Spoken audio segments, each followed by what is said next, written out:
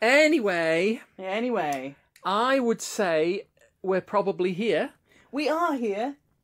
We are back around the virtual campfire. We are back, even so. We are back around the virtual campfire, which means Crackle, crackle, crackle, fire noises, crackle, crackle. it's time for a Frithcast.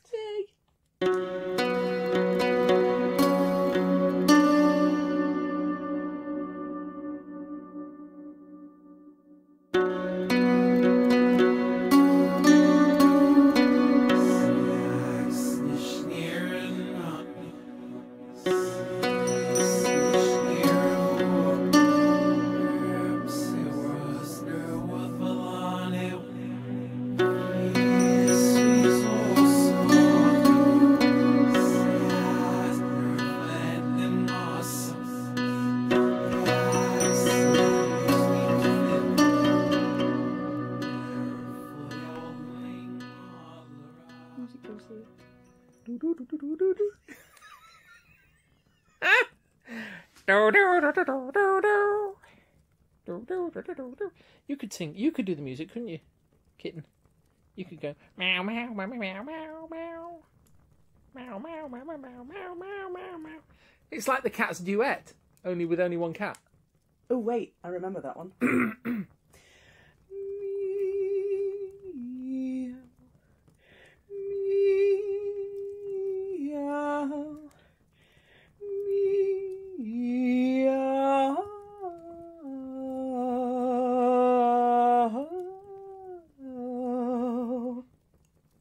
Second soprano. Very good. Meow.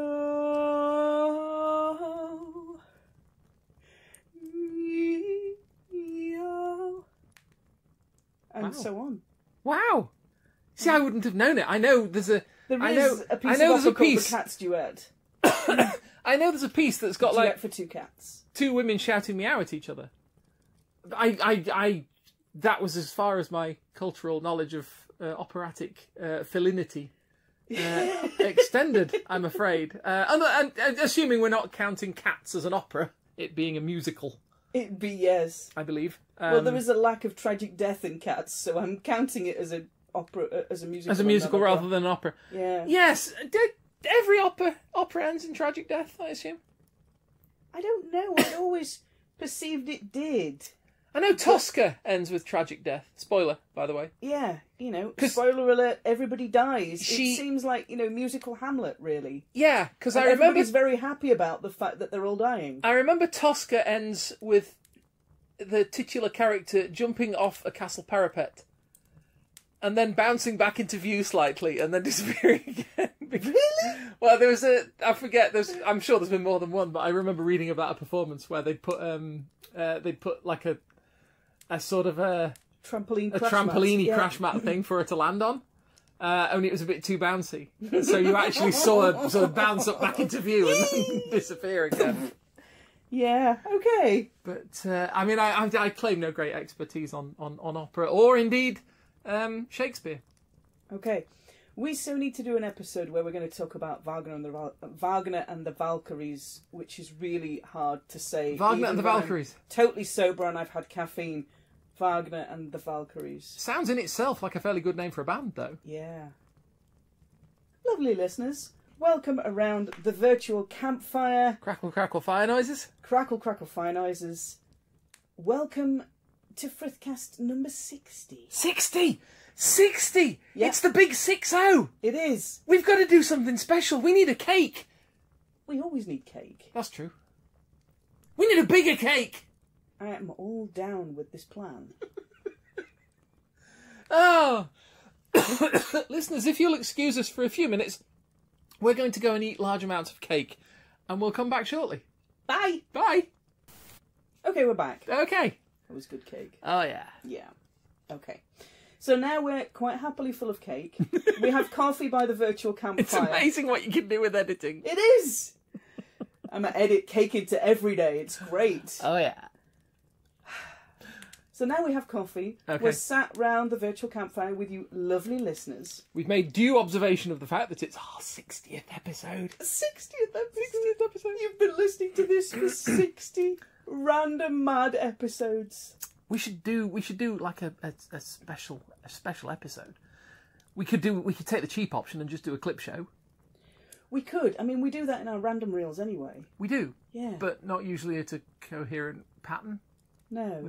Well, uh, no, the, last interval, episode of every year. Oh, I suppose they are. Yeah, yeah, Yeah. yeah, yeah. The Or Yule, Yule episode for every year, random reel. anyway, that's random reel. That's not the same as a clip show. Clip show is a, a cheap and unimaginative way of. Oh, I can do that.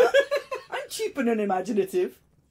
I am Or- all over this. Or we could do a special episode where we have to like somebody locks up a trophy somewhere in the office and we all have somebody has to steal it. I'm good for that too. Yeah, Yeah. That sounds good. I don't think anybody's ever done that before. No. Anyway, we'll Yeah. think about it. Okay. Let's do that. In the meantime, let's get on with episode 60. Mhm. And if you've never joined us before, welcome around the virtual campfire. Honestly, if they've never joined us before, they've probably gone by now. Yeah. Um, come on back, it's fine. we do actually get to talk heathenry in a minute It gets or two. it gets more sensible as we go along. No, it doesn't. No, it doesn't. doesn't get sensible. Welcome to the virtual campfire and Frithcast episode 60. I'm Suzanne Martin and I'm a UK ambassador for TAC, which is the Asatru community. And my name is Kate, and I am ambassador of nothing whatsoever. It's a business card. What ambassador of naught? Yeah. Yeah, and uh, I um I'm not even even a heathen. Um, I do in fact uh, I'm I'm basically just the resident coffee powered druid, and I happen to live in your house. So Yeah. there you go. Hanging around for the food snacks at break time. Essentially, yeah. Yeah, the cake we've just had. Oh yes. But there you go. So, we talked in episode 59 about animal associates. Mhm. And we had a chat, a little bit of a chat, about Freya's ball, the battle ball. We did. Yeah. And and I started to have images of the great big spider thing off Wild Wild West, only like a boar instead, Yeah, there's a good image. like a sort of fat at A fat at with eight spider legs. I am Yeah. in for this image. that farts flowers. I am so good for this. Hello, listeners. We need your new reinterpretations of Freya's battle ball, and uh, yeah, there's some mad stuff going on in my brain right now. But there you go. So, what I wanted to spend this episode talking about was some of the other uh, mighty toys that the gods and goddesses have collectively between them. Mhm. And needless to say, a lot of these are made by the dwarves. Yep. And it's fair to say that Loki is involved one way or another with the making of a lot of them. Suggesting that they're probably not always going to go as anticipated. Yeah, I mean, the most famous one you've got is the Mjolnir, Thor's hammer. Okay. I wear a Mjolnir. It's a short handled As hammer. do many heathens. as do many heathens, and it's generally a recognised symbol of heathenism. Hmm. In whatever format you've got, your Thor's hammer is kind of a key symbol. Yeah. But it's short handled. It's like a craftsman's hammer. It's like a little lump hammer kind of hammer rather than a big warhammer hammer. Mm. Which is on a long handle so you can swing it. Yes. At things that may be between you and the half bottle behind the enemy lines. Over the top, lads, and into him! so with the when the Mjolnir was made, there's a lovely well, there's a very interesting story about how it was made and why it ends up short handled rather than long handled because Loki's involved in that. Mhm. Specifically Okay. involved in that. So the Mjolnir is the most famousest of the mighty toys. Indeed. Yeah, you don't generally get pictures of Thor without it. That tends to be the identifying feature when you have a male figure. If it's got a hammer, that's It's what people identify with him. Because he's the only one who can lift it. He's the only one that can lift it. Apart from Steve Rogers, obviously. Yeah, and also Mr. Rogers. Mr. Rogers, the, the, the, the children's TV guy. Oh, Oh, I'm sure he excuse would. me, young man, did you drop this? no, it's fine. You can keep it. And Vision. But if you go back And everybody else. All right. okay, fine. If you go back to the original uh, Norse mythology, Mm-hmm. the only reason he can lift the hammer is because he has a belt of, and gloves which give him the strength of a giant. Okay. That's the only reason he can lift this short-handled workman's hammer. So in the original mythology, it's not actually to do with him being worthy. It's to do with him having this. The strength Yeah. of a, uh, a belt of giant strength and his gauntlets, which are usually named something like iron grip. Okay. Which basically mean that he can lift it. And if you look at the older illustrations, the hammer is not like you see the Mjolnir now, where it has an oversized head. It's literally like a lump hammer, Okay. craftsman's hammer. It's a small crafting tool. Yeah. I have to concede that a lot. Yeah, I've, I mean, I've said before on previous episodes, but that a lot of the imagery I have in my head, I'm afraid, you know, without any, uh, without intending to to, to belittle or diminish any of this, but inevitably, some a lot of the imagery in my head comes from Marvel. Yes. Um, and I have to remind myself that, you know, I have to sort of consciously remind myself sometimes that what I'm seeing there, somebody says Thor, Chris Hemsworth's the first pic- face I see. yeah. And I know when I think about it that actually he, at least, a, you know, as he's as he's portrayed in the majority of the films, he doesn't really represent the, the image of Thor as Thor is described in the sagas. Mm. Uh, the sagas, the, the the Eddas and so forth Mm. but I have to admit, you know, when I when I when I think of Mjolnir, I think of that great big massive cubic near near, Yeah. near cubic block that he carries around in in in the MCU, and and it does make me think. I mean, because I know you said before it's supposed to be a craftsman's hammer. It's not. The whole point of it is that for whatever reason, it's not a battle hammer. Mm. It's not a hammer It's a short-handled hammer. built for killing people. It's a Yeah. hammer built for crafting and Yes. building things. Yeah. And I've always sort of looked at the one that Chris Hemsworth lugging about and thinking, I couldn't imagine hammering nails in with that. No, the the Mew Mew needs to go on a diet. Really, it's, uh, it needs to kind of come down a wee bit. Mm. His Mjolnir, the only reason he can lift it in the myth cycle and in the sagas is the fact that he has a belt and a pair of gauntlets that allows him to pick it up. Yeah. That they collectively give him the strength of a giant, and without those, he can't. Mm. If you look at the things that the Allfather has, he has a couple of shiny toys of his own. Okay. He has the Gungnir, which I've mostly seen described as a spear, but I have seen one reference to it being a sword. All right. And now I'd always thought he had a spear. Now the spear Gungnir will hit anything it's thrown at, Okay. and I've also seen it referenced that it will cause fatal or grievous injuries to anything it injures. So it's pretty nasty piece of kit. If there, if it is attested, I like that word, Mm. in the writings that it will hit anything it's thrown at, and I would assume that suggests it's a spear because you wouldn't, you don't throw a sword. No. Swords But I have seen one reference that describes it as a sword, and I'm like, I'd always thought it was a spear. Hmm. I'd always seen him in my head, and his image was always a spear for me, not a sword. And I thought because we've talked about this before, we've talked about the the the, the, the specifically the weapons that the gods use, and I remember there being a, a, a, a sort of a particular point of the fact that the spear is a is essentially a poor soldier's weapon. Every man's weapon, yeah. You you when you are um, when you are part of an army that's been raised from the local Mm, community or whatever, yeah. the local society, um, you would have probably a spear because you would have it for hunting. Yeah. You wouldn't have a sword. A sword is going to be You might have a hand axe and a spear. yeah. You Whereas might might have a shield, yeah, but for a shield you've got to learn how to use it, which means you have to take out time out of your crafting or farming or hunting schedule to learn to be trained in the use of a shield. yeah. Only if you're a fairly professional warrior. Mm. I'll say fairly professional, but you know what I mean. Only if you're only if you have time and resources to dedicate to fighting Yeah. would you have a sword. Yeah. Or logically now, Mm. that would be how I would look at it. Mm.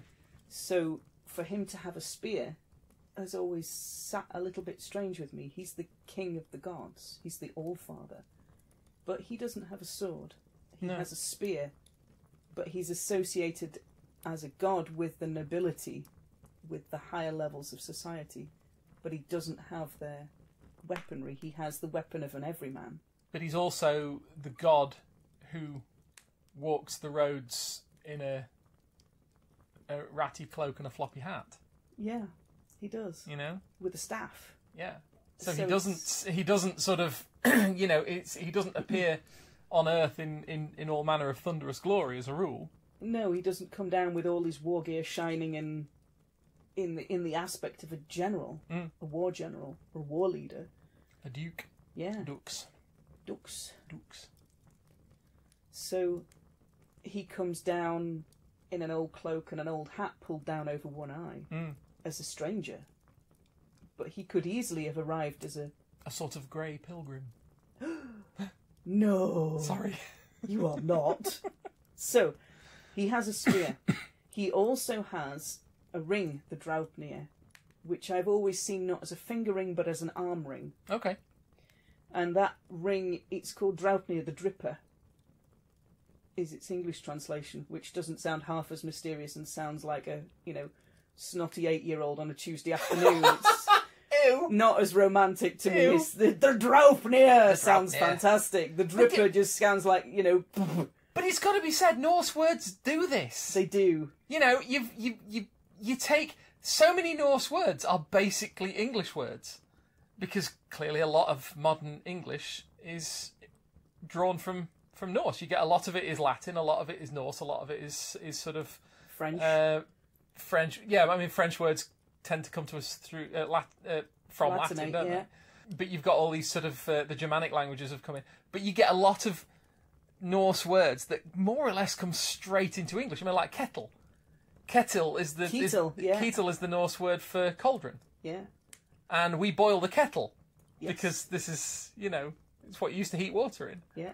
You know, with that that possible exception, you do find that Norse words just have a certain kind of Mm-hmm. m- mysterious, mystic Yeah. oomph to them. So this is the Dripper.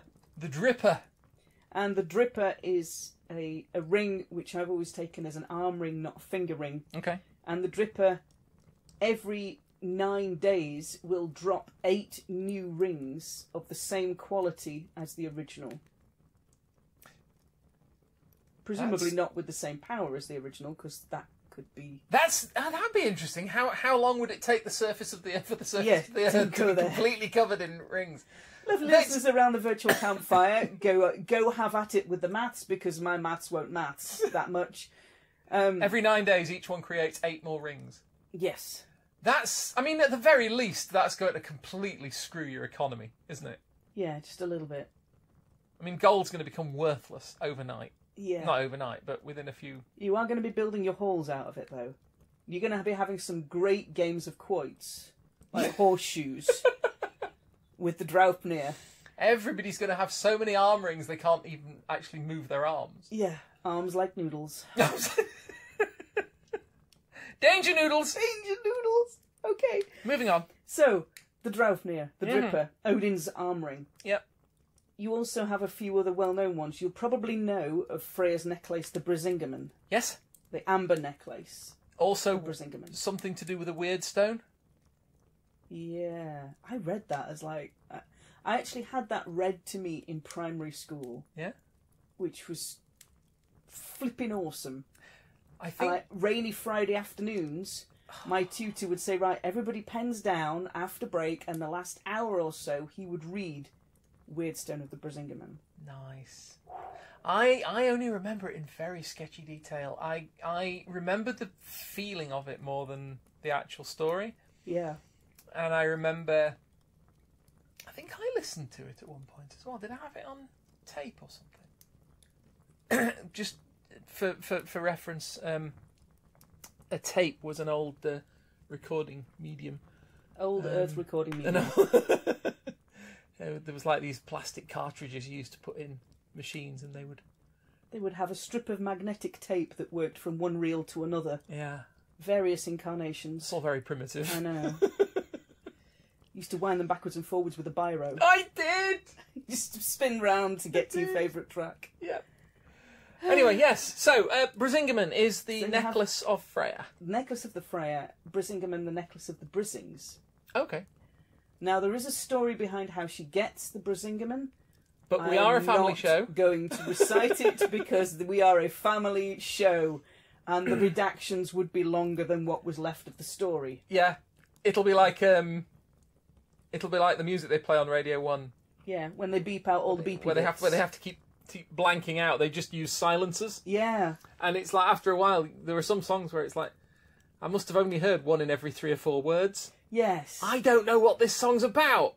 Yeah, well, if you took all the naughty bits out of how Freya gets the Brisingamen, you would end up hearing about every third word. We're not going to recite it because it, this is a family show, and uh, lovely listeners, we don't know how old you are listening around the virtual campfire, and we would rather protect your delicate sensibilities. Cuz God's forbid. God's forbid you should talk about Nookie on here. It's not a good idea. So- besides the cat's here and she's too young. She's definitely too young. She's looking a bit nonplussed about now, but never mind. So, Actually, she's moving over 18, on, so she is over 18 in human years. Mm. Moving on, Frey. Frey, He of the golden bristles boar, Gullinbursti. Gullenburst. He has uh, gifted to him what they call a, you might see it described as a folding ship or a collapsible ship.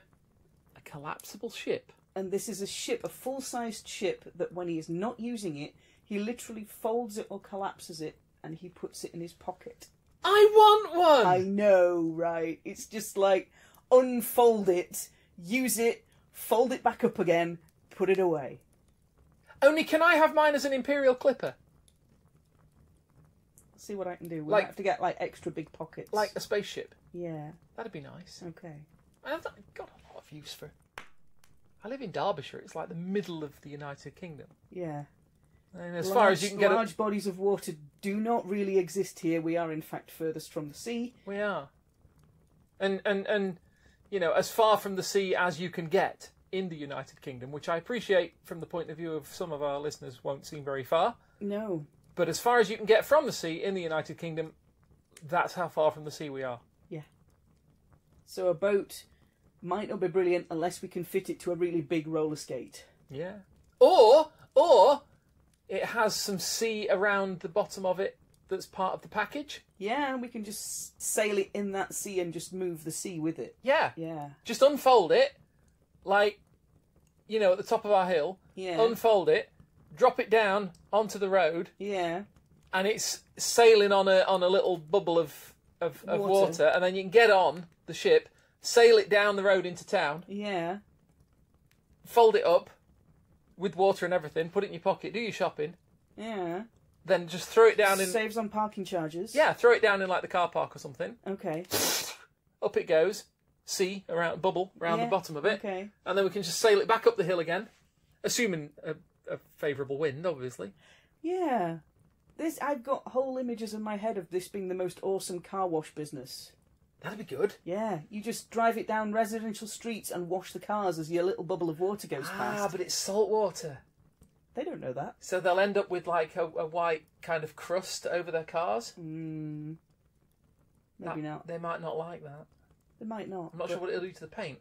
Maybe, but having said that, I suppose we could we could have it freshwater.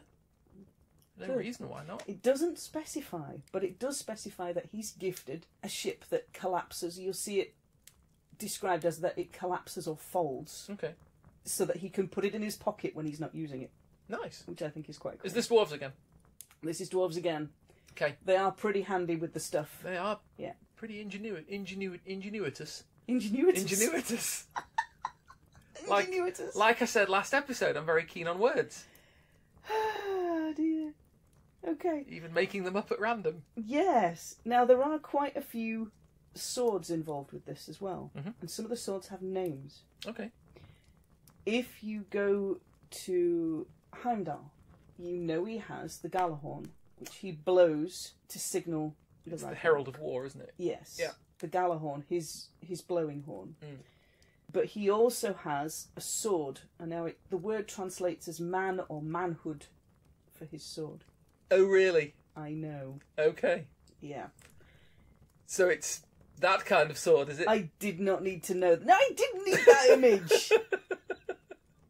the lay of rig has nothing on this. Just stop making these parallels. I'm never going to look at Idris Elba the same way you again. are. You don't look at Idris Elba the same way anyway. That is that's actually absolutely true.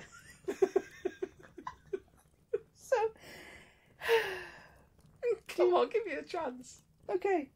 All right, Idris, if you're listening, give me a chance. No! woman. Ah, You also have a a reference to Loki's sword, and it's it's odd whether the word translates to sword or staff. Some people have translated it to staff rather than sword, okay. and it's called the damage twig.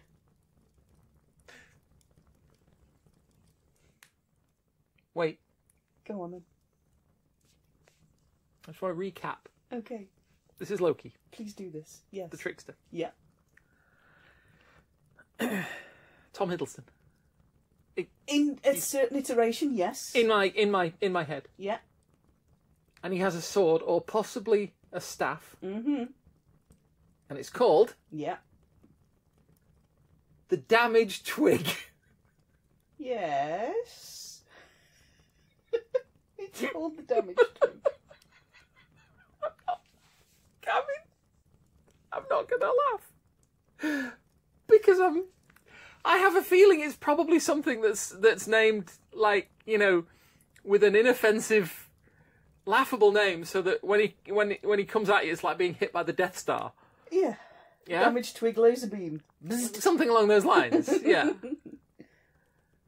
the damaged twig. But it's translated as the damage twig. I think that is the most beautiful name for a hand-to-hand weapon, a melee weapon.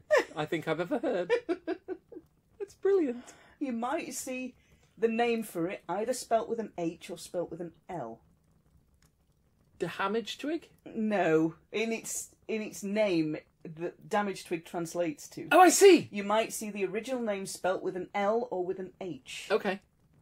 And they still haven't. They're still having a wee bit of a to and fro over which translation it is, Okay. but it generally gets translated to damage twig. Damaged twig. I think that's that's beautiful. Okay, let's move to one a bit more familiar. Okay. Falcon cloaks. Oh, yes. Frigate, Frigate and Freya are both said to have a falcon cloak. Mhm. Or a falcon coat, you might see it referred to as. Yep. And that gives them the ability to fly as a falcon. Now, that it doesn't clarify whether it turns them into a falcon Okay. or whether it allows them to fly as in human form. The cloak allows them to fly as a falcon. Yeah. I haven't worked out which one it is yet. Okay. If you want to get really fun, I would include in this list of mighty toys Sif's hair. Okay.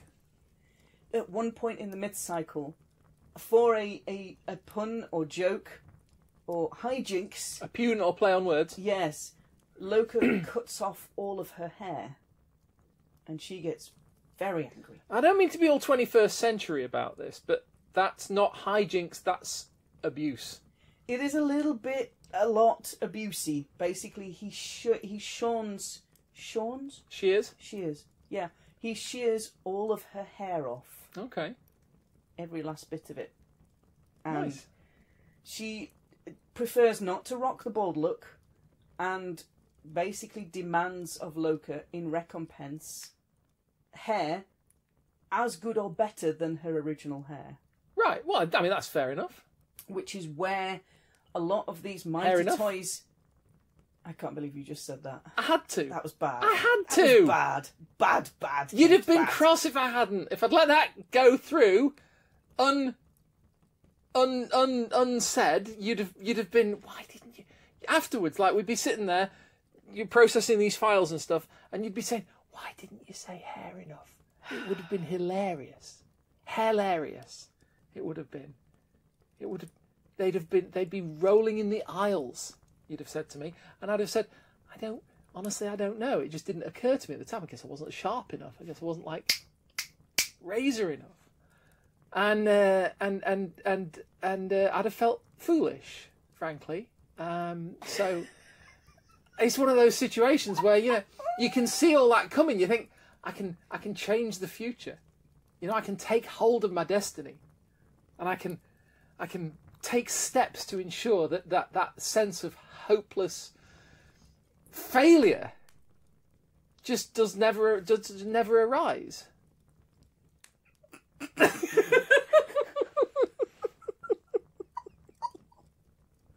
or to put it another way, it was a weak joke, and I thought I'd give it a stab.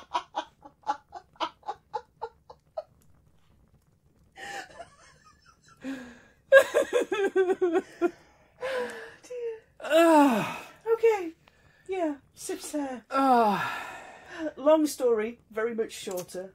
Loki returns with hair that is made from gold, spun gold, that's Good on him. fine as threads, fair. And he it's good. gives the whole head of that Sif's wig to her, and it's all made of gold threads, so it shines a lot brighter than her original blonde head. That's nice. And so, yeah, I would count Sif's hair kind of in the list of mighty toys. Yeah. Really, Dwarves again. as- Yeah, dwarves again. I say So- dwarves. I should say dvergar, hmm. shouldn't I? Yes, well, they're.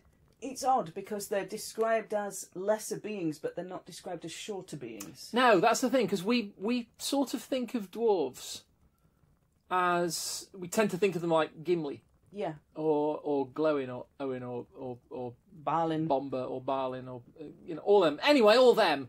But we tend to think of them as as shorter, stout yeah. craftspeople who mine and do metalwork and do gem work. But aren't they? Aren't they a kind of elf? Yeah. Because you've got the Alfar, the Svart Alfar. Alfar, and the Dvergar are a different kind of elf. I seem to recall. So, they, yeah.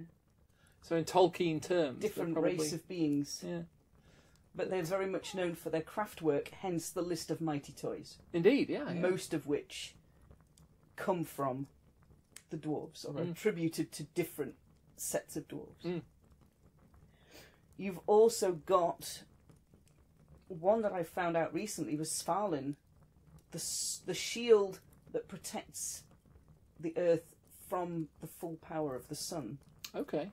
So it stops the earth getting burned. Ozone. Yeah, Svalin invented ozone. Svalin is ozone. Oh, okay, fair enough. Oh, that's the name of the shield. Yeah, Sorry, I was thinking because it sounded a bit like Balin. I, I thought that was probably the name of the dwarf in question. But no, no, not quite. okay. So this is the shield that protects the Earth from the full force of the sun, Wow. stops the Earth from getting burned, which is pretty woke for the 10th century. I was going to say that's that's quite an insight, isn't it? yeah, pretty. When you think that the the idea that the, there needs to be something to between the shield us. Yeah, I mean, we yeah, we, all right. We know about ozone and, and, and the various layers of atmosphere and you know the magnetic field mm. keeping a lot of the particles off us and all that kind of thing. Yeah, they they obviously had something. There was something in somebody's mind that went. That's actually powerful enough to to scorch us out if it. if it wants to. Yeah, Yeah. So there is the the imagery they have is that it's a shield. nice. So it's a shield that prevents the Earth from being burned. Okay. The shield of the sun that prevents us from getting singed to a crisp. If you want to get all technical about this list of mighty toys, you've also got the High Seat of Odin. Allows him to see across the nine worlds. Which I am absolutely not envisaging as being made of swords. Mm. But you get the impression, you get the feeling now that it should have been. Yeah, maybe. I mean, there. I don't think there are any descriptions of what the High Seat looks like. Then it's made of swords. Okay, fine. I'm sorry. Um, Just Speaking of swords, and you know you've got the sword of Handal, you've possibly got the sword of Loki. Mhm. You've also got an unnamed sword that Frey has, Okay. and it's his. You know, it's a kind of a shiny thing, and he, the sword of Frey, which is never given a name, is given away. He gives it away. So that he can woo the giantess that he's fallen in love with. That's right, yes. So when it comes to the Ragnarok, he stands without a weapon because he'd already given his away for love. Or kind of for lust, really. Lechery. lechery. he gave it away for lechery isn't quite as romantic, but it's probably slightly more accurate. But the curious thing is what that story, and I, I, I take it. Yeah, I'm treating the stories as, as, as sort of mythology, i.e., a story which is intended to teach you a thing, um, which is how I tend to view because we've in the modern day we tend to have this this very binary way of looking at stories. It's it's something is either historically true, literally, or it's a lie. It's a falsehood, and I tend to kind of kick out against that because like I've, I mean I've had many many arguments with with people who have talked about um, Greek mythology and even even uh, a lot of sort of like the parables in Christian texts, and they've said, well, you know, that couldn't possibly have happened because it's impossible, it goes against physics, blah blah blah, and it's like, well, yeah. There are a couple of ways of interpreting it. Either you say, well, never mind physics, it happened because it mm. says so in the book. Or you say, well, oh, no, it didn't happen exactly like that, but it's there to teach you something. Yeah. and that's the point of it. So, So they're there to give you a message on how to live life or how not to do life. Grimm's fairy tales are often these are the things you do not do yeah, because they are dangerous, and Yeah. so we're going to make up a story as to why it's dangerous, so you remember the story and don't do the thing. that's right. I mean, treating, you know, putting aside the mythological tutelary. um, Dentistry. Dent- tutelary dentistry. Um, putting aside the possibility that the story is, is trying to teach us something, or whatever the story is trying to teach us, from a literal standpoint. Why didn't he get another sword? I mean, Don't know. he had time, He did. and it's not as if they're thin on the ground it's around Valhalla and Asgard. yeah, you know, you'd have thought somebody would have just let him borrow a spare one, but they don't, and he actually goes to the Ragnarok without a weapon. He's not going to come out that well, is he? No, no, didn't quite come out that well. No. But there you go. I want to finish hmm, Sorry. this episode off with a lesser known mighty toy. Okay. And this mighty toy is it comes from a Frisian story, Frisia. All right. And you may or may not know of a god called Forseti, and he's often titled as Asgard's judge. I think I've heard the name, but I can't say I would have any any knowledge. Yeah. So there's not a lot about him, to be honest.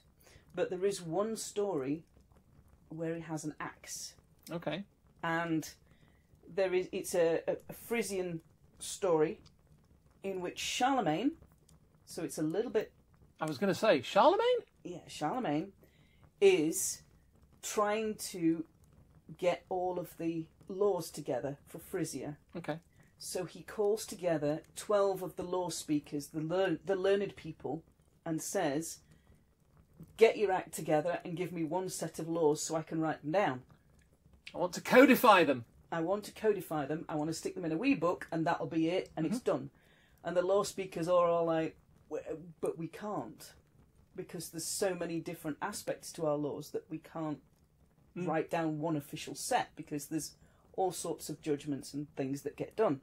So Charlemagne says, "Right, either you give me a complete set of your law codes, or I'm going to stick you in a boat in the middle of the ocean." Okay. It's a little bit imaginative for Charlemagne. Yeah. Yeah. Yeah. So the law guys are like, but can't. So Charlemagne sticks them on a boat in the middle of the ocean. And the Man law- of his word. Clearly. 12 law guys are like, oh, fudge, that went well. You know, well, that could have gone better. Are they naked? They are not. Actually, the story doesn't tell me they're naked, so if it helps you to imagine 12 guys in a boat naked, do it. I'm just thinking if of Mal Reynolds. not, then you don't have to. That's fine. I'm just thinking of Mal Reynolds at the beginning of that episode, sitting in the desert, going n- all Well, that could have been better. Could have gone better. Yeah. Um, so there's 12 guys in a boat, Mhm. and they're like, oh, should have seen that one coming. Well, he Didn't. tell you he was going to do it. He did tell you he was going to do it, and uh, you're in a boat, and you're now in the middle of the ocean.